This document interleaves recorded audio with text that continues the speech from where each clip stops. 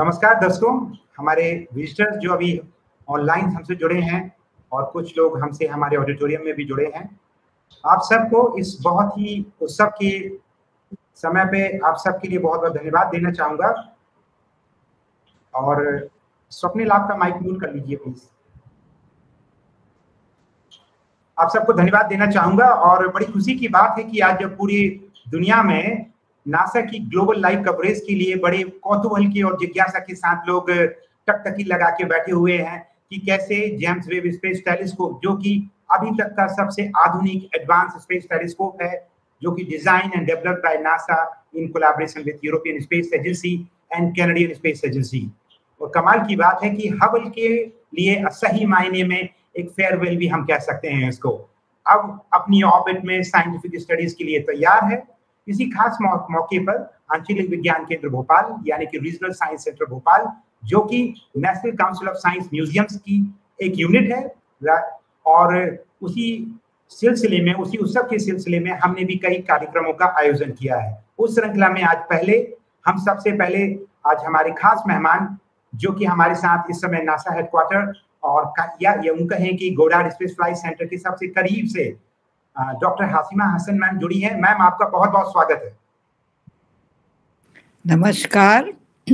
बहुत बहुत शुक्रिया आपका। मुझे भी आज बहुत खुशी है कि मैं आप सबके साथ इस इस ऐतिहासिक इस हिस्टोरिक वक्त पे शामिल हूँ कि जेम्स वेब स्पेस टेलीस्कोप की सबसे पहली साइंस इमेजेस आज रिलीज़ होने वाली हैं, जिनका प्रीव्यू आपने कल देखा होगा, हमारे प्रेसिडेंट जो बाइडन ने उससे पहले रिलीज़ की थी एक इमेज, जिससे आपको अंदाज़ा होगा कि आज जो रिलीज़ होने वाली हैं इमेजेस, उसमें आप क्या क्या चमत्कार देखेंगे।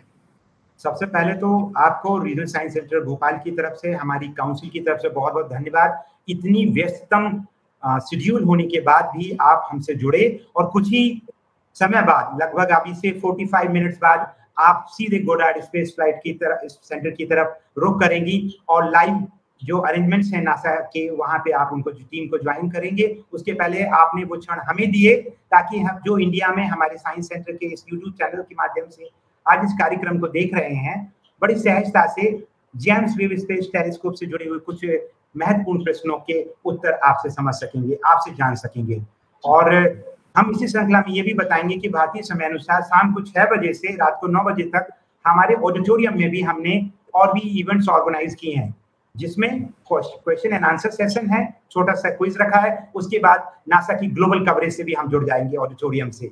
और जब तक पूरी इमेज रिलीज़ नहीं हो जाती, जिसे फल फुल सूट कहा जा रहा है, यानी कि बची हुई वो इंपॉर्टेंट साइंटिफिक इमेजेस जो आज रिलीज़ होना है। तो उसी श्रृंखला में बिना समय गवाए हुए हम इस कार्यक्रम की शुरुआत करते हैं और मैम, मैं आपसे यही एक छोटी सी गुजारिश करूँगा कि इस प्रोग्राम को शुरुआत करने के पहले, चूँकि आपका संबंध भारतीय मूल से है, आप भारत से हैं तो आप आपकी यात्रा बताएँ, क्योंकि एज ए विमेन साइंटिस्ट आप एक बहुत ही एक्सपीरियंस लीडिंग साइंटिस्ट हैं नासा में आपकी जो जर्नी भारत से हुई है, ताकि जो भी स्टूडेंट्स इस प्रोग्राम को देख रहे हैं इंक्लूडिंग गर्ल्स स्टूडेंट सो वो एक प्रेरणा आपसे ले सकें। प्लीज़ मैम तो थैंक यू आप जितने स्टूडेंट्स यहाँ देख रहे हैं आप लोगों की सबकी तरह uh, मेरी जर्नी भी भारतवर्ष से शुरू हुई थी। मैं पैदा हुई थी हिंदुस्तान में लखनऊ में। वहीं पे पली बढ़ी लखनऊ यूनिवर्सिटी से बीएससी किया फिर अलीगढ़ मुस्लिम यूनिवर्सिटी से एमएससी और फिर पीएचडी के लिए ऑक्सफोर्ड यूनिवर्सिटी यूनाइटेड किंगडम गई थी। मैंने ज, जिस उस वक्त जब मैंने लखनऊ यूनिवर्सिटी ज्वाइन किया था सिर्फ़ दस लड़कियाँ थीं जो मैथमेटिक्स पढ़ रही थीं। पूरे बीएससी में यूनिवर्सिटी में केवल दस लड़कियाँ थीं। लेकिन हम लोग सबसे ज़्यादा जो जो हम लोग सबसे मेहनती लड़कियाँ ही थीं तो हमारे साथ जितनी लड़कियाँ थी सभी आगे बढ़ गई थी। तो हम जितनी बच्चियाँ देख रही हैं यहाँ उन्हें सबसे हम कहते हैं, तुम लोग भी अपने सपने पूरे करो और आगे बढ़ो और जितने बेटे देख रहे हैं हम उनसे कहेंगे, अपनी बहनों का तुम साथ दो और उन्हें भी आगे बढ़ने की हिम्मत दो और उनकी मदद करो। और फिर मैं अपनी पीएचडी करके मैं भारतवर्ष वापस आई मैंने Tata Institute of Fundamental Research Bombay join किया था। उसके बाद पूना यूनिवर्सिटी में लेक्चर हो गई थी। फिर शादी होके मैं यू, यहाँ यूएसए आ गई और यहाँ पे कई घाट के पानी पिए और फिर फाइनली मैं बॉल्टमोर पहुँची, जहाँ पे मैंने space telescope science institute join किया और उस वक्त हबल लॉन्च होने वाला था। तो मुझे एम्प्लॉय किया गया था कि हबल के आप ऑप्टिकल सॉफ्टवेयर सिमुलेशन आप लिखिए। तो मैंने ये चैलेंज लिया और वो सिमुलेशन लिखा और जबकि उसका वो वो कंप्यूटर प्रोग्राम फिर बहुत ही इम्पोर्टेंट हुआ जब हबल लॉन्च हुआ और उसकी हमें इमेजेस को एनालाइज करना पड़ा और फिर उससे फिर उन्हीं हमें इंस्टीट्यूट वालों ने हमें टेलीस्कोप साइंटिस्ट बनाया कि आप इस टेलीस्कोप के बारे में इसकी सारी जानकारी मालूम करें और फिर जिसमें हम इसके सारे प्रॉब्लम्स फिक्स कर पाए।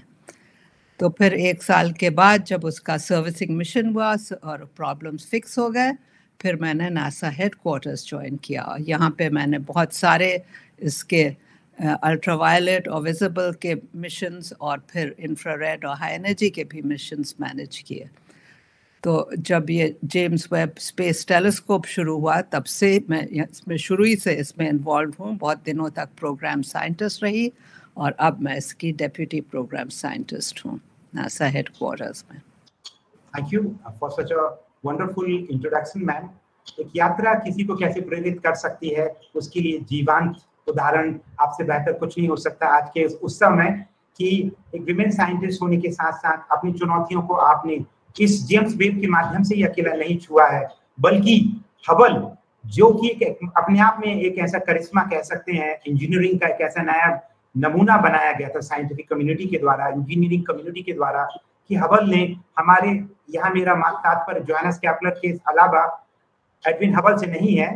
हबल का मतलब है कि हबल स्पेस टेलीस्कोप जो उनके नाम पे रखा गया है, जिसने हमारी एस्ट्रोनॉमिकल सोच को, हमारे दायरे को एक ऐसी उड़ान दी ग्लोबली कि हमने ब्रह्मांड के विस्तार, विकास और उसकी जन्म से जुड़ी हुई गुत्थियाँ तारों के निर्माण गैलेक्सीज के आपस में संघट यानी कोलिजन्स और हो सकता है प्रत्यक्ष और अप्रत्यक्ष रूप से एक्सोप्लैनेट्स में भी थोड़ा बहुत योगदान इंस्पायर कर पाया हबल और हबल का जो अभूतपूर्व योगदान है, उसे हम कभी भी भुला नहीं सकते।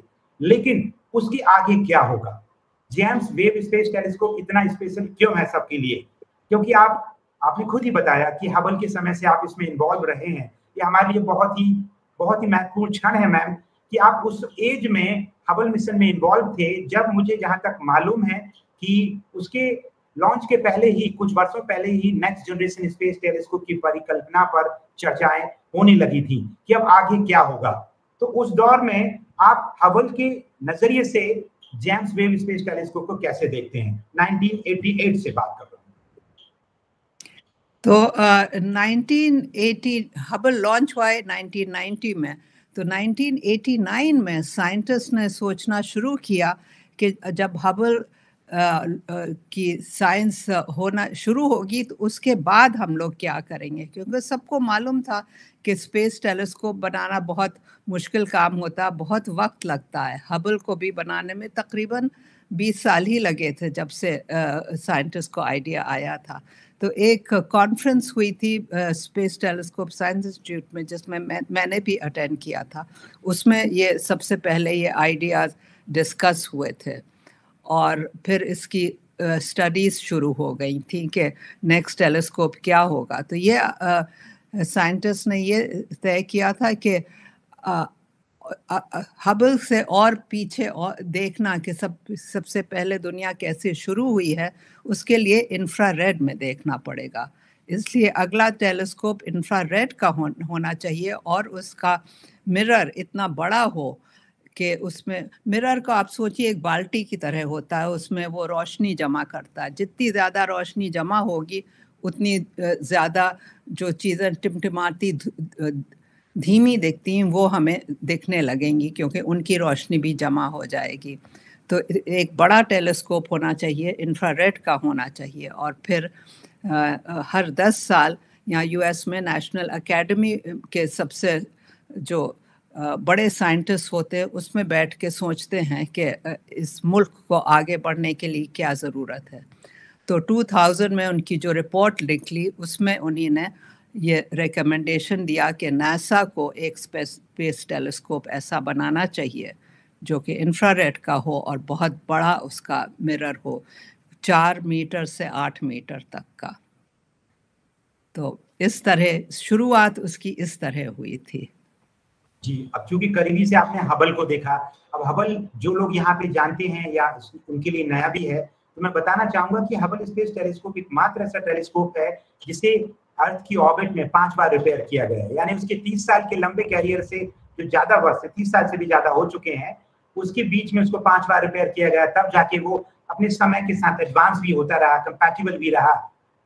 इंजीनियरिंग नमूना कहते हैं हम स्पेस क्राफ्ट को। और कमाल की बात है कि हबल अपने आप में एक चुनौतीपूर्ण प्रोजेक्ट था।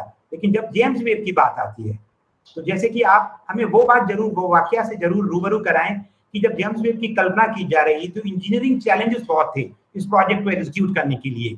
क्योंकि स्पेस क्राफ्ट तो आप सोच सकते हैं साइंटिफिक रिक्वायरमेंट के हिसाब से डाइफ्रेक्शन लिमिट्स के हिसाब से हमारे पास कितना बड़ा एक हम लिमिट के हिसाब से उस रेजोल्यूशन में कितना बड़ा मिरर लेंगे, कितने दूर तक हम देखना चाहते हैं। यानी कि कितनी दूर की लाइट हमारे तक आएगी, उसको हम देखना चाहते हैं। लेकिन इंजीनियरिंग तरीके से उसको हम लॉन्च कैसे करेंगे? क्योंकि जहाँ तक हमें मालूम है, जब ये कल्पना साधी जा रही थी तो उस समय इतना बड़ा रॉकेट ही नहीं था। कि ना रॉकेट की कल्पना थी कि कोई भी रॉकेट पूरा as it is James Webb space telescope को अपने अंदर सबसे ऊपर फेयरिंग में संभालेगा और फिर उसको अपने तय लक्ष्य पे भेजने के लिए सक्षम रहेगा। तो इंजीनियरिंग चुनौतियाँ क्या रही?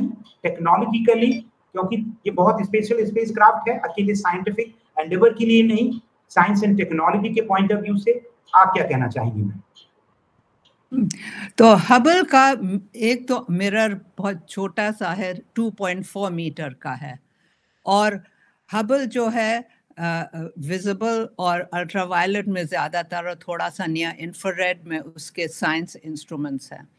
इसकी वजह से हबल जो है उसे बहुत दूर भेजने की ज़रूरत नहीं पड़ी थी। वो तकरीबन 300 मील के ऑर्बिट में है और अपनी पृथ्वी का वो परिक्रम करता रहता है। और उस वक्त ये स्पेस शटल भी थी यूएसए के बाद पास। तो उससे ये था कि हबल को सर्विस कर सकते थे। जैसे आप जानते हैं, पाँच बार उसमें सर्विसिंग हुई, उसमें पुराने इंस्ट्रूमेंट्स निकाल के नए इंस्ट्रूमेंट्स लगाए गए। लेकिन ये इंफ्रारेड टेलीस्कोप का ये भी था कि उसे बहुत ठंडा रखना, उसे बहुत दूर रखना और उसे सर्विसिंग नहीं हो सकती। इसलिए उसे ऐसा टेलीस्कोप बनाना है कि एक तो उसका आईना बड़ा हो, वो फो कि वो लॉन्च हो सके और इतनी दूर जा सके और उसमें कोई ऐसी ख़राबी ना हो कि उसे रिपेयर करने की ज़रूरत पड़े। जैसे हबल में रिपेयर करने की ज़रूरत पड़ी थी। तो ये तो बहुत ही ज़बरदस्त इंजीनियरिंग चैलेंज था और ये हमारे यहाँ मुल्क के यूएसए के इंजीनियर्स ने ये चैलेंज लिया और कई कंपनीज़ ने काम किया इस पर फिर एक नॉर्थरप ग्रमन जो है उससे कॉन्ट्रैक्ट मिला। तो उसका ये कॉन्सेप्ट था कि इसका साइंटिस्ट ने ये डिसाइड किया कि 6.4 मीटर का इसका प्राइमरी मिरर हो, होना चाहिए। तो इंजीनियर्स को ये चैलेंज दिया गया। तो यहाँ पे एक ग्राउंड बेस्ड टेलीस्कोप है केक टेलीस्कोप वहाँ पे, हवाई में। उसके मिरर्स जो हैं, वो छः साइड के हैं हेक्सैगनल मिरर्स उन्हें जोड़ के उसका प्राइमरी मिरर मिला है। तो वो आइडिया उन्हीं ने इंजीनियर्स ने लिया कि अगर हम ये केक टेलीस्कोप के मिरर की तरह बनाएँ और कोई तरह से ऐसा करें कि वो फोल्ड हो जाए। और जब फोल्ड हो जाएगा, तब वो रॉकेट के अंदर फिट हो जाएगा। तो ये 18 टुकड़ों का मिरर है हब, इसका वेब टेलीस्कोप का।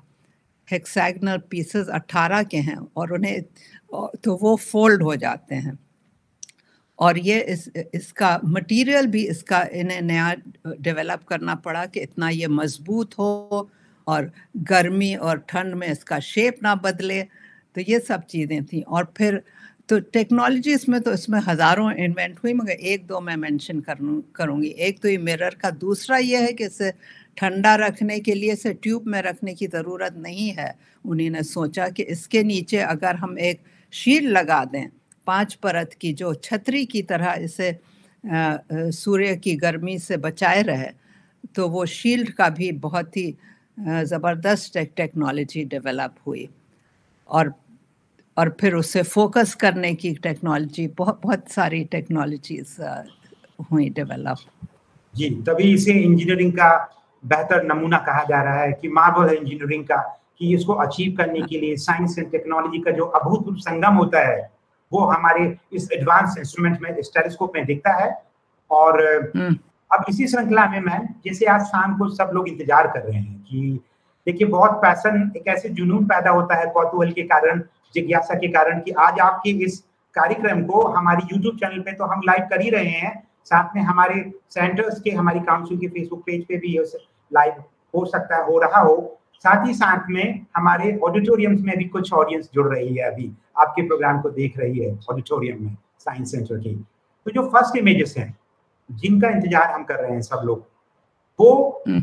हमारे उस यात्रा का पहला पायदान है जो लगभग अगले दस साल जेम्स वेब स्पेस टेलीस्कोप अपनी लाइफ के हिसाब से अगर काम करता रहा तो अपने साइंटिफिक मिशन को अचीव करेगा। तो ये पाँच ही क्यों और ये पाँच एरिया चुनने में कोई चुनौती तो रही होगी कि वो पाँच एरिया ऐसे कौन से हों, जिन पे पहले हम James Webb space telescope deeply study करके उनकी इमेज रिवील करेगा। ये आप थोड़ा सा हमें बताएँगे तो अच्छा रहेगा। तो तो जब टेलीस्कोप बनाया बनाने की सोची साइंटिस्ट में तो उन्होंने सोचा कि कौन से एरिया पे हमें सबसे ज़्यादा ज़रूरी रिसर्च करना है इस टेलीस्कोप से? तो उन्हीं ने चार एरियाज़ डिफाइन किए। एक ये है कि सबसे पहली गैलेक्सीज कैसे पैदा हुई, कैसे उन्हीं ने जन्म लिया? और फिर उससे दूसरा एरिया है कि फिर पैदा होने के बाद वो कैसे धीरे धीरे बढ़ी और हर कोई का अलग अलग शेप बन गया, कैसे हुआ? फिर तीसरा उन्होंने सोचा कि फिर ये सितारे कैसे बने? और इन ये कैसे पैदा हुआ, कैसे बने और इनके इर्द गिर्द प्लैनेट्स कैसे बने? और फिर चौथा एरिया ये था कि फिर ये जो प्लैनेट्स हैं, इन, इनके बारे में इनकी जानकारी और कैसी हो हो। ख़ास तौर से जो प्लैनेट्स दूसरे सितारों के पीछे हैं, जैसे हम एक्स्ट्रा सोलर प्लैनेट्स कहते हैं। उनकी एटमोसफियर कैसी है उसके प्लैनेट्स कैसे हैं। तो ये ये सब स्टडी करने के लिए इस, इस टेलीस्कोप में चार साइंस इंस्ट्रूमेंट्स हैं। तो आज की इमेजेस ये है कि कि हर एरिया का वो एक एग्ज़ाम्पल दे रहे हैं। एक एरिया स्टार बर्थ का है कि स्टार्स कैसे पैदा होते हैं। फिर गैलेक्सीज का तो आपने कल एक इमेज देखी ली कि उसमें पूरी डीप फ़ील्ड है, कितनी गैलेक्सीज हैं। अब साइंटिस्ट उन्हें जब स्टडी करेंगे तो पता चलेगा कितनी दूर तक उन्हीं ने देखी है, उसमें क्या क्या देख सकते हैं गैलेक्सीज के बारे में। फिर एक एक्सो प्लानट का है जो कि हमारे आई थिंक केपलर या टेस्ट ने जो एक एक्सो प्लानट देखा था, उसकी उसकी वो इमेज इमेज है या फिर स्पेक्ट्रम है। स्पेक्ट्रम होता है कि जैसे लाइट के हिस्से हिस्सों को तोड़ के देखते हैं। तो हर केमिकल का हर, हर उसका एलिमेंट का स्पेक्ट्रम अलग होता है। वो अंगूठे छाप की तरह होता है। जब आप स्पेक्ट्रम देखते हैं तो आपको मालूम हो जाता है कि ये कौन से एलिमेंट का है। तो वो कुछ स्पेक्ट्रा दिखाए जाएँगे। इस तरह वो हर इंस्ट्रूमेंट से वो दिखाएँगे कि कौन सा डिफरेंट एरिया ये टेलीस्कोप स्टडी करेगा और ये इंस्ट्रूमेंट तैयार है वो वो एरिया स्टडी करने के लिए। तो ये आप देखेंगे। बिल्कुल। और आपने इतने बेहतर और सरल चीज़ शब्दों में समझाया है तो हमारी audience I hope everybody will like it और वो आप, मैं आप सबसे ये कहना चाहूँगा, जो भी इस प्रोग्राम को अभी देख रहे हैं, सुन रहे हैं, कृपया आप अपने प्रश्न, आपके नाम और आप कहाँ से जुड़े हैं और साथ में अगर बच्चे हैं स्टूडेंट्स हैं तो वो कौन सी क्लास और स्कूल से हैं, वो हमारी यूट्यूब के लाइव चैट बॉक्स में टेक्स्ट करके हमें पूछ सकते हैं। और हम इस कार्यक्रम के अंत में कुछ मिनटों के लिए कुछ प्रश्न लेंगे। अब इसी श्रृंखला में हम आगे चलते हैं, मैम। जैसे कि समय का जो सीमा है, उससे ऊपर ना जाए, इसलिए हम चीज़ों को बहुत सारगर्भित तरीके से पूछूँगा कि अभी तक जैसे मैंने जोहानस कैपलर का नाम ले दिया, फिर आपने कैपलर मिशन के बारे में बात किया, जो कि एक्सोप्लैनेट्स के लिए छोड़ा गया था।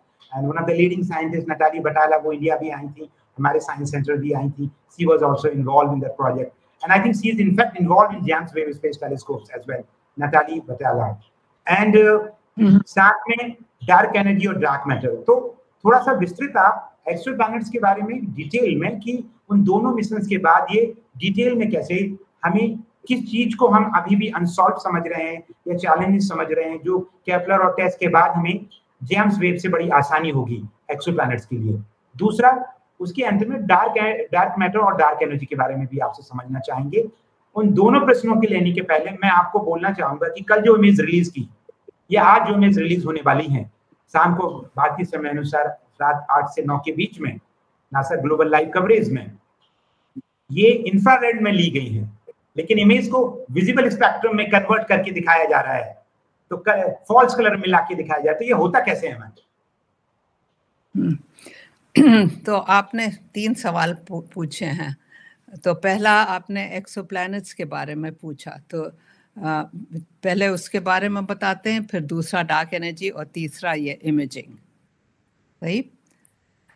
तो एक्सोप्लैनेट्स का आ, ये है कि ये केपलर मिशन और टेस्ट मिशन ने बहुत अब कोई चार पाँच हज़ार से ज़्यादा एक्सो प्लानट्स देख, देखे हैं। तो उनमें से साइंटिस्ट लोग कुछ चुनेंगे कि कौन से प्लैनेट्स को हम और आगे उसकी डिटेल में देखना चाहते हैं। तो ज़्यादातर वो देखना चाहते हैं कि हैबिटेबल प्लैनेट्स कौन से हैं, यानी कौन सा ऐसे प्लैनेट हैं जिस पे लाइफ मिल सकती है। तो एक तो ये है कि वो प्लैनेट्स जो हैं अर्थ लाइक हों वो अपने सूर्य से बहुत करीब ना हो बहुत ज़्यादा गर्म ना हो बहुत दूर ना हो कि बहुत ठंडे ना हो और ऑल्सो वो रॉकी हों सिर्फ़ गैस के ना हों। तो इन प्ला, उन प्लैनेट्स के ऊपर जेम्स वेब अपनी नज़र डालेगा और उनको ज़्यादा डिटेल में देख पाएगा और उनके एटमोसफियर को वो स्टडी कर पाएगा। जैसे वो उसके, वो जो स्पेक्ट्रम देखेगा तो स्पेक्ट्रम से मालूम होगा कि इस पे, इसके एटमॉस्फेयर में क्या है, कौन से एलिमेंट है। अगर उसमें कार्बन हाइड्रोजन और ऑक्सीजन तीनों मिल जाते हैं, तब, और वो हैबिटेबल जोन में है, तब हो सकता है वहाँ पे लाइफ हो, ज़िंदगी हो, जैसे हमारे यहाँ अर्थ की है। तो इस तरह की ये एक एग्ज़ाम्पल मैंने आपको दिया कि जो जेम्स वेब कर सकता है, जो कि हबल नहीं कर सकता क्योंकि उसकी इतनी इंफ्रारेड नहीं है। ऑल्सो क्यों वो दूसरे प्लैनेट्स को एक्सर सोलर प्लैनेट्स और भी ये डिस्कवर कर सकता है। क्योंकि इसके, ये बहुत ही पावरफुल इसकी, इसके इंस्ट्रूमेंट्स हैं, जो कि प्लैनेट्स की गर्मी को नापते हैं। इंफ्रारेड बेसिकली उसकी गर्मी है, होती है। तो उसकी गर्मी नाप करके आपको बता सकते हैं कि यहाँ पे प्लानट है। तो कई तरीक़े होते हैं।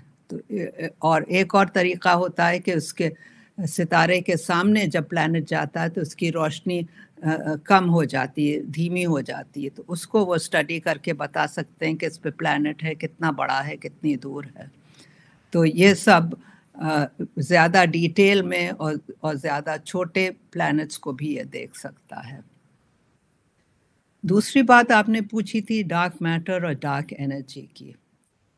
अब डार्क मैटर और डार्क डार्क इसी से कहते हैं कि इसे हम डायरेक्टली देख नहीं पाते, मगर इसका जो असर पड़ता है, उससे हमें मालूम होता है कि यहाँ डार्क मैटर है या डार्क एनर्जी है। अब डार्क मैटर पे जानकारी और यूँ होगी जेम्स वेब से क्योंकि वो बहुत पीछे टाइम में देखेगा। बिग बैंग हुआ है, समझिए कोई 13.8 बिलियन साल पहले। हबल जो है, कोई तेरह बिलियन और थ्री पॉइंट टू बिलियन साल पहले तक की चीज़ देख सकता है। जेम्स वेब जो है, वो कोई thirteen point five billion years पीछे तक देख सकता है और काफ़ी सफ़ाई से देख सकता है। तो इतने पीछे जब वो देखेगा तो फिर उससे ये मालूम होगा कि ये पहले स्टार्स और गैलेक्सीज कैसे फॉर्म हुए और उनके ऊपर ग्रेविटी का क्या असर हुआ। कि वो ग्रेविटी से वो हाइड्रोजन के जो क्लाउड्स थे वो मिले और फिर उनसे स्टार्स और गैलेक्सीज बनी। तो ये ग्रेविटी आई कहाँ? ये डार्क मैटर से आई है। तो जब हम देखेंगे कि ग्रेविटी का असर क्या है, उससे हमें अंदाज़ा होगा कि कितना डार्क मैटर है और किस तरह से वो असर कर रहा है। इसी तरह डार्क एनर्जी यूँ डिस्कवर हुई थी कि वो साइंटिस्ट ने वो वो सुपरनोवा जो कहलाते हैं, जब स्टार्स जो हैं हेवी मीडियम स्टार्स जो हैं वो एक्सप्लोड होते हैं जब उनकी ज़िंदगी ख़त्म होती है तो वो सुपरनोवा हो, होता है। वो सर्टन काइंड हर स्टार नहीं मगर कुछ तरह के स्टार सुपरनोवा हो जाते हैं। तो उनकी प्रॉपर्टी स्टडी करके मालूम होता है कि ये कितनी दूर हैं। तो जब सबसे पहले वाले सुपरनोवा हम लोग देख पाएँगे उससे ये मालूम होगा कि कितनी दूर हैं और कैसे ये दुनिया एक्सपैंड हो रही है। उसकी स्पीड मालूम कर सकते हैं। तो अभी जितने देखें, उससे मालूम होता है कि ये काफ़ी तेज़ एक्सपैंड कर रही है। तो कोई डार्क एनर्जी है, जिसकी वजह से वो ग्रेविटी के अगेंस्ट काम कर रही है। और पीछे के सुपरनोवा देखेंगे तो मालूम होगा कि और कितनी तेज़ चल रही है। तो उससे मालूम होगा कि कितनी स्ट्रांग है डार्क एनर्जी तो इस तरह से वो स्टडी करके डार्क मैटर और डार्क एनर्जी की ये ये दो तरीक़े हैं, और भी तरीक़े साइंटिस्ट तो सोचते ही रहते हैं कि तरह से हम नाप सकते हैं। और तीसरी आपने फॉल्स इमेजेस की पूछी थी। तो ये जो डेटा आता है वो तो सारा कंप्यूटर पे आता है तो उससे फिर स्टडी करके वो इस फॉर्म में डाला जाता है कि कि उसे देख के मालूम हो कि कौन चीज़ क्या है। तो फिर ये ग्राफिक आर्टिस्ट भी इसमें इन्वॉल्व होते हैं कई लोग इन्वॉल्व होते हैं तो वो डिसाइड करते हैं कि कौन चीज़ का, कौन सा कलर इसे दिया जाए। तो उसके हिसाब से वो उसे फॉल्स कलर कहते हैं तो वो कलर्स देते हैं। तो फिर जो कंप्यूटर डेटा आता है उसके हिसाब से उसमें वो फॉल्स कलर्स डालते हैं जिसमें आप देख पाएँ।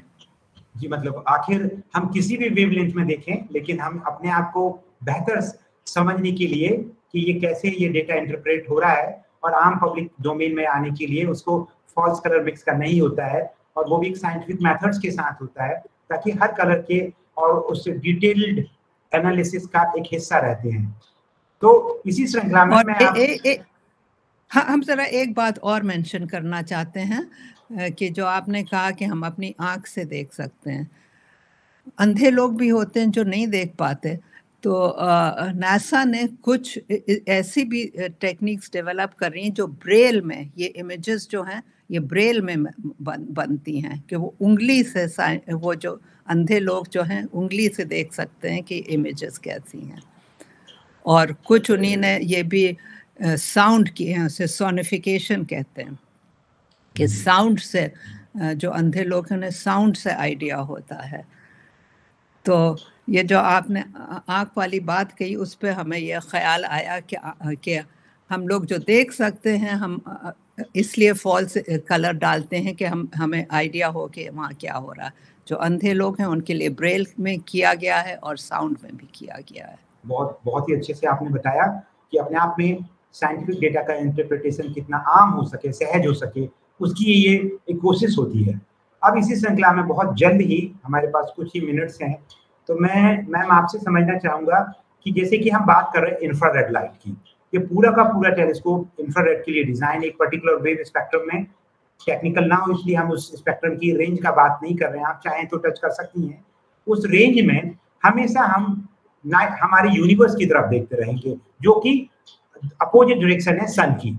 यानी हमारा ये टेलीस्कोप ये हमारा यानी globally we are accepting this telescope as a part of humanity because Louis Pasteur ने भी कहा है knowledge belongs to everyone it has no boundaries तो इस पॉइंट ऑफ़ व्यू से we all are participating with the same enthusiasm in fact NASA का इसरो के साथ भी बहुत कोलैबोरेशन रहता है। कई भी कई प्रोजेक्ट्स में तो जीता। जागता उदाहरण चंद्रयान रहा है। उसी नोट पे हम बात करेंगे कि इंफ्रारेड लाइट की जो बात हो रही है अब हमारा सन बहुत बड़ा सोर्स है इंफ्रारेड लाइट का।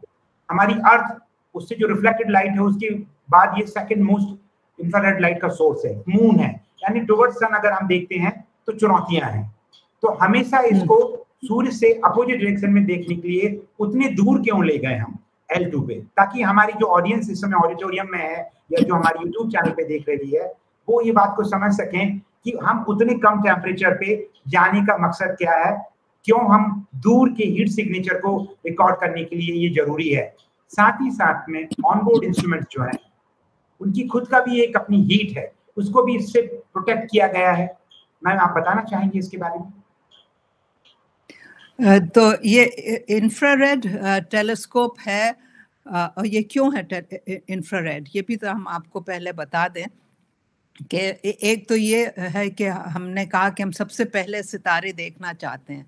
तो उनकी रोशनी जो है वो तेरह, साढ़े तेरह बिलियन साल पहले से जो आ रही है, क्योंकि यूनिवर्स खींच रही है, उनकी रोशनी भी खींच रही है। जो अल्ट्रावायलेट और विजिबल में थी, वो खींच के अब इंफ्रारेड में पहुँच गई है। ऑल्सो जो सितारे पैदा होते हैं, वो धूल के पीछे उनकी रोशनी छुप जाती है अल्ट्रावायलेट और विजिबल में, जैसे हबल से आप देखें। मगर इंफ्रारेड जो है वो धूल के थ्रू आ जाता है तो सितारे हमें दिखाई देते हैं।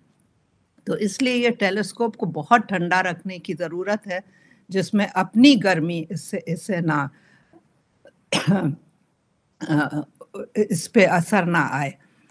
तो इससे L2 ये एक ऐसा पॉइंट है, जहाँ पे ग्रेविटी जो है सन और मून और अर्थ की ऐसी बैलेंस हो जाती है कि ये से सेमी स्टेबल पॉइंट कहते हैं। तो इसके इर्द गिर्द अगर कोई टेलीस्कोप या कोई भी सैटेलाइट जाए तो वो अपनी मोरलेस एक जगह पे रहता है। तो उसको सन शील्ड जो है, इसकी जो छतरी है, उसे अगर वो पूरे वक्त सूर्य की तरफ़ रखें तो टेलीस्कोप बिल्कुल ठंडा रहेगा। और उसके इंस्ट्रूमेंट्स भी, इस हम लोगों को इतनी देर लगे टेलीस्कोप लॉन्च हुआ था दिसंबर में, और अब लाइट हो रही क्योंकि इतने, कोई दो तीन महीने लगे थे कि वो ठंडा हो जाए, उसकी जितनी गर्मी थी उसमें, वो रेडिएट हो गई स्पेस में। एक इंस्ट्रूमेंट जो मिड इंफ्रारेड है, उसे, उसके बावजूद, उसे और ठंडा रखने के लिए एक उसके साथ एक क्रायो कूलर है, एक कूलर रखा है, जिससे वो ठंडा करता रहता है। तो इसलिए इसे L2 पे रखा गया है, क्योंकि ये L2 इतनी दूर है जहाँ तक हमारा टेलीस्कोप जा सकता है, वहाँ वो ठंडा रह सकता है और इतना दूर भी नहीं है कि वहाँ से हम कम्युनिकेट नहीं कर सकते। ये भी बहुत ज़रूरी है कि उसका जो कम्युनिकेशन एंटेना टेलीस्कोप में लगा है, जिससे उसके इससे, उससे हमें बात करनी होती है और उससे वो डेटा भेजता है, वो इतना करीब हो हमारी उससे अर्थ से, कि वहाँ के सिग्नल हमारी अर्थ तक पहुँच सके। तो L2 ऐसा पॉइंट है जहाँ पे वो ठंडा भी रह सकता है और वहाँ से सिग्नल अर्थ तक भी पहुँच सकते हैं। जी, बिल्कुल। तो इसकी सेंसिटिविटी सेंसिटिविटी के बारे में आप बताना चाहेंगे?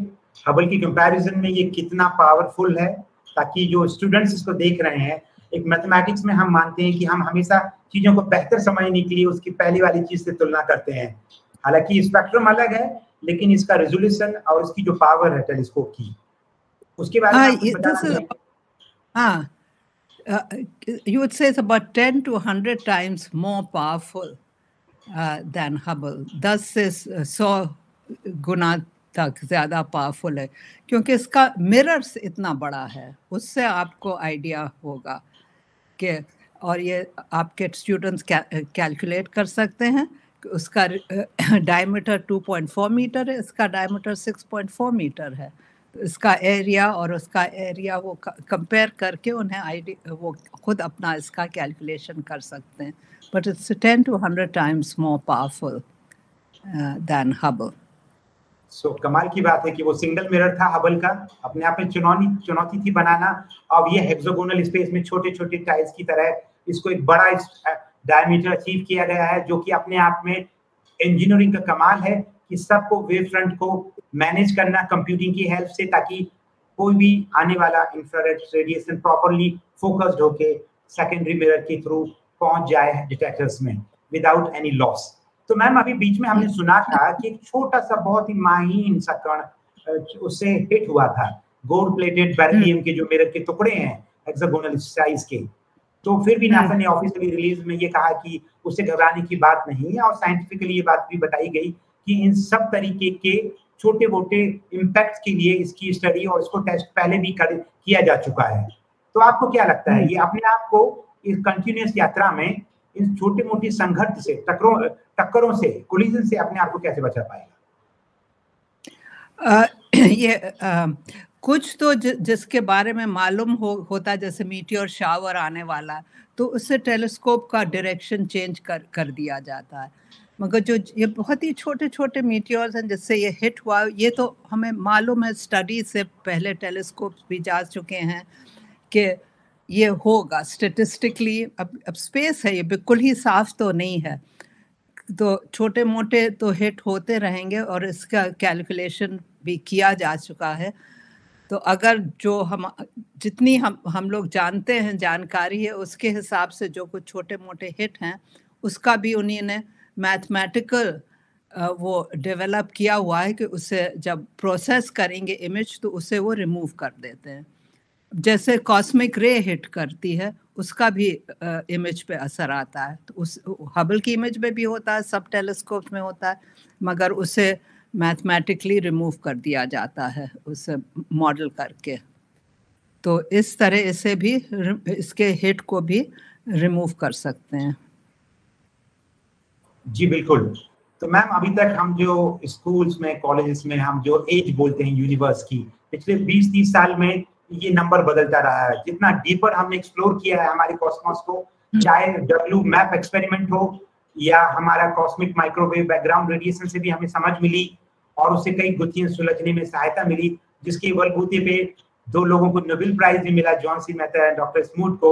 And doctor John C Mather project scientist हैं पीआई भी हैं इस जेम्स वेब स्पेस टेलीस्कोप के।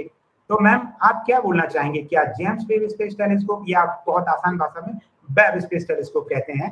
कि वेब टेलीस्कोप क्या हमारे इस एज के स्पेक्ट्रम को, यानी कि 13.8 या और बहुत मैथमेटिकली स्टैटिस्टिकली अगर हम मॉडल्स की बात माने तो 14 बिलियन ईयर्स को भी आगे धकेल देगा ये, और बड़ा हो जाएगा यूनिवर्स की एज बदल सकती है। आपको क्या लगता है? इतनी डिटेल्ड ऑब्जर्वेशंस के बाद तो वो जैसे मैंने आपको मेंशन किया था कि डार्क एनर्जी की जो स्टडी होगी, उससे एज पर तो असर पड़ता ही है। तो यस एज का वो अब जित, जितनी अभी तक हम लोग की नॉलेज है, ज्ञान है, उससे तो ये लगता है कि बहुत ज़्यादा असर नहीं पड़ेगा, मगर वो जैसे हबल कांस्टेंट कहते हैं, वो जितना ज़्यादा एक्यूरेट हम लोग को मालूम होता, उसका, उसकी वैल्यू बदलती जाती है। तो उसकी वैल्यू बदल सकती है, कितनी बदलेगी, हम ज़्यादा तो नहीं एक्सपेक्ट करते, मगर यही तो सबसे ज़्यादा एक्साइटिंग बात तो वेब की यही है कि वो क्या बताएगा जो हम नहीं जानते हैं। कौन से सवाल हमने नहीं पूछे हैं जिनका ये जवाब देगा। जैसे हबल ने डार्क एनर्जी तो हम जानते भी नहीं थे कौन चीज़ है, होती भी है कि नहीं हबल से मालूम हुआ। तो कौन कौन चीज़ हम नहीं जानते, किसके बारे में ये हमें बताएगा, ये सबसे एक्साइटिंग बात मुझे वेब की लगती है। बहुत ही बखूबी से आपने समझाया। बहुत बहुत धन्यवाद मैम। अंत में क्योंकि आपको सीधा अभी प्रेस ब्रीफिंग और लाइव कवरेज के लिए आपकी टीम निकलना है कुछ मिनटों बाद तो मैं आपकी परमिशन से क्या चार पाँच मिनट और ले सकते हैं क्वेश्चन आंसर लेने के लिए? Yes yes thank you thank you आप देख सकते हैं this is this is called motivational spirit जो भी आपके इस प्रोग्राम को देख रहे हैं और सहजता से आप जो समझा रहे हैं वो कमाल की बात है। जैसे कि विज्ञान केंद्र का मूलभूत उद्देश्य है वैज्ञानिक चेतना जगाना साइंटिफिक टेम्परामेंट जग पैदा करना समाज में। और स्कूल्स के विद्यार्थियों में साइंस के प्रति एक लोकप्रियता बढ़ाते हुए एक रुझान पैदा करना, ताकि आम जनमानस में एक वैज्ञानिक सोच समझ बढ़ सके। तो आप जेम्स वेब स्पेस टेलीस्कोप को कैसे लेते हैं कि ये नई जनरेशन के विद्यार्थियों के लिए स्कूल टीचर्स के लिए एक प्रोजेक्ट के रूप में कैसे इंस्पिरेशनल मॉडल बन सकता है और उसके बाद तुरंत मैं कुछ प्रश्न लूँगा। हाँ ए, एक बात मैं और बना बताना चाहती हूँ कि इसका जेम्स वेब टेलीस्कोप का जितना डेटा है वो आर्काइव्स में होगा जैसे हबल का है और कैपलर का है। तो ये बच्चे जो हैं आज सुन रहे हैं ये भी जब थोड़ा बड़े हो जाएँ ये जेम्स वेब टेलीस्कोप का डेटा ये खुद एनालाइज कर सकते हैं। खुद उसमें ऐसी चीज़ें मालूम कर सकते हैं जो हो सकता आज के साइंटिस्ट ने नहीं सोचा हो। मगर सबसे ज़्यादा इन्हें इंस्पिरेशन ये भी इससे लेना चाहिए कि कि कैसे ऐसी चीज़ें जो हमेशा हमें इम्पॉसिबल लगती हैं, उसे पॉसिबल कैसे कर सकते हैं? कैसे अपना दिमाग आगे बढ़ाओ और ऐसी चीज़ें सोचो कि इसे हम सॉल्व कैसे कर सकते हैं? तो कि जैसे ये टेलीस्कोप का मिरर है या इसकी सनशील्ड है या तो इसे कैसे कर सकते हैं? तो ये सोचना और अपने सपनों सपनों को आगे बढ़ाना सब बच्चों को ये आ, सोचना चाहिए कि हम कर सकते हैं। सोच थिंक बिग ये मत सोचो कि अरे, ये तो बहुत ही मुश्किल लगता है, ये हमसे नहीं होगा। क्यों नहीं होगा? ज़रूर है। और और अपने साथ, अपने साथियों को साथ करो, एक टीम बनाओ। और जैसे नासा ने टीम बनाई, यूरोपियन स्पेस एजेंसी और कनेडियन स्पेस एजेंसी को अपने साथ लिया। रॉकेट जो था, वो यूरोपियन स्पेस एजेंसी ने दे, दिया। सबसे बड़ा उनका ये था।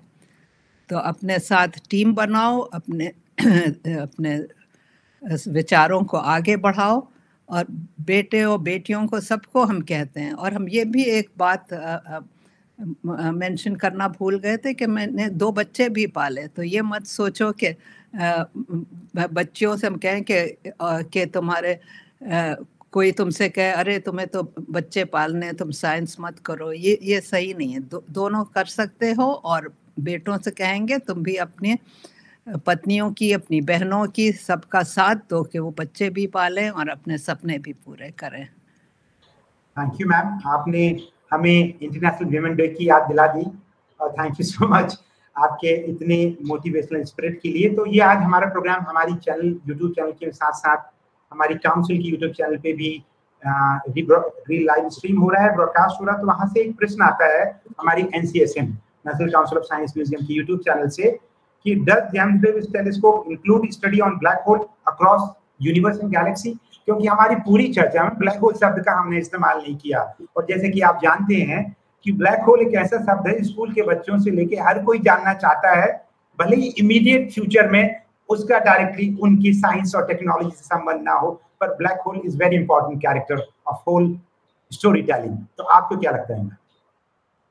यस yes, uh, ये James Webb telescope black hole की भी स्टडी uh, करेगा. It will give us more knowledge about black holes also okay so Swapnil कोई प्रश्न है ऑडिटोरियम से हमारे लिए? या बहुत से स्टूडेंट जुड़े हैं मैम वो सब लोग thank you thank you and they are introducing कि आए केंद्रीय विद्यालय इटारसी कुछ स्कूल्स भोपाल से हैं। कुछ मयंक हैं, सुबीर जी हैं, वो डिस्कस कर रहे हैं इंटरप्रेट कर रहे हैं और बहुत से लोग तो स्वप्निल कोई प्रश्न है ऑडिटोरियम से? जो हम मैम से डायरेक्ट पूछते हैं, जो ऑडिटोरियम के ऑडियंस है।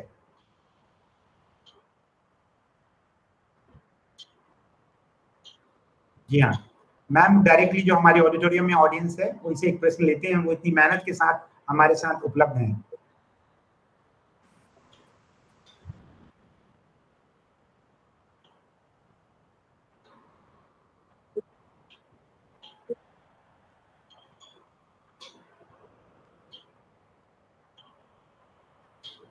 स्वप्निल दोहराओगे इनके प्रश्न को बैकग्राउंड इको के कारण?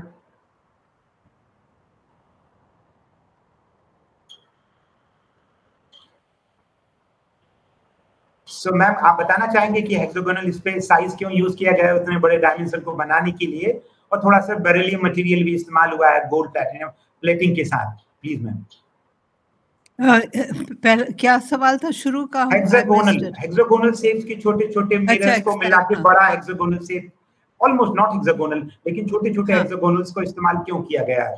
Honeycomb more precisely i can use ये सेप क्यों यूज़ किया गया या yeah, वो हेक्सागनल शेप उन्हीं ने यूँ चुना क्योंकि उसे सबसे वो सर्कुलर शेप करने के लिए सबसे आसान और अच्छी तरह यूँ फिट हो जाता था। वो यही शेप था। और वो आ, आ, वहाँ पे जो केक टेलीस्कोप है उसके भी हेक्सागनल है तो उससे उन्हें मालूम था कि हेक्सागनल शेप का मिरर किस तरह वो परफॉर्म करता है। so that that was the best shape uh, that uh, the sci- the कि इससे सबसे सही काम होगा। और ब्रिलियम जो था ये मटेरियल वो डेवलप किया गया कि हल्का हो मज़बूत हो और ठंडा और गर्म होते हुए वो अपना शेप ना बदले। क्योंकि जब लॉन्च होता है तो वो गर्म होता है फिर वो बाद में जाके खूब ठंडा किया जाता है। तो जब अगर उसका शेप बदलता रहेगा तो फिर इमेजेस पे उसका असर पड़ेगा। इसलिए वो ये बेरिलियम मटेरियल डेवलप किया गया इस तरह। और उस पर कोटिंग की, की हुई है मिरर की गोल्ड की कोटिंग। गोल्ड की इसलिए की हुई कि वो इंफ्रारेड लाइट को रिफ्लेक्ट करता है। अगर कोटिंग ना करें तो इंफ्रारेड लाइट जो है वो अब्जॉर्ब हो जाएगी। तो उस पर गोल्ड की कोटिंग की हुई है। बहुत ही पतली सी है, लेकिन गोल्ड की है। मतलब इतना इम्पोर्टेंट मेटल है, इस पे इससे सुरक्षित है। Nobody can escape nobody can take gold from the L two ma'am we have one question from our YouTube channel और वो ऐसे प्रश्न पूछ रही हैं शायद आप बताना चाहें चलते चलते what is inside in a black hole black hole के अंदर क्या है? ये सबसे बड़ा सवाल dollar question black black hole उसे इसी से कहते हैं कि we don't know what there is inside जो अंदर जाता है वो बाहर नहीं निकलता है। तो even light doesn't escape black hole. So we don't know what there is inside the black hole. Whatever goes in just stays in there hopefully in future jwst may add something extra dimension to this understanding as well thank you on behalf of regional science center and our council ma'am because you have very tight schedule today. And uh, whoever have asked questions or on our live YouTube feed or, or elsewhere, we would really, really appreciating your efforts. You are all with us in this time and spirit जब हम कुछ ही घंटों बाद, बहुत दूर नहीं है, अभी साढ़े पाँच बजने वाला है तो समझ लीजिए, लगभग छः और दो, ढाई घंटे के आसपास के बाद सबको पता लग जाएगा बाकी की वो कौन सी इमेजेस हैं and that would be start और मैम, मैं आपके इसी समय देने के लिए, आपके लिए बहुत बहुत धन्यवाद देना चाहूँगा। हमारी जो पूरी बैक टीम है, वो टीम स्पिरिट की आप बात करते हैं we work in a team जो हमारे टेक्नीशियंस हैं हमारे एजुकेशन टीम है हमारे एजुकेशन टीम आईटी का भी रोल प्ले करते हैं so we collectively are working together for the same cause for the council thank you so much and please Have a nice day and hopefully we'll resume and tune once again in near coming months or future with you, ma'am. Thank you so much. It's been a real pleasure to talk to you and to the students.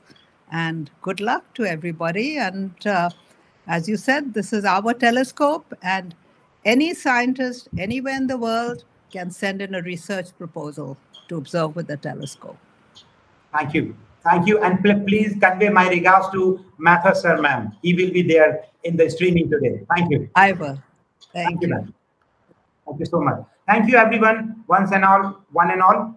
और आप जल्दी से हमसे दोबारा हमारे auditorium में जुड़िए धन्यवाद धन्यवाद। मैम हमारी जो ऑडिटोरियम में ऑडियंस बैठी है आप उनके लिए हाई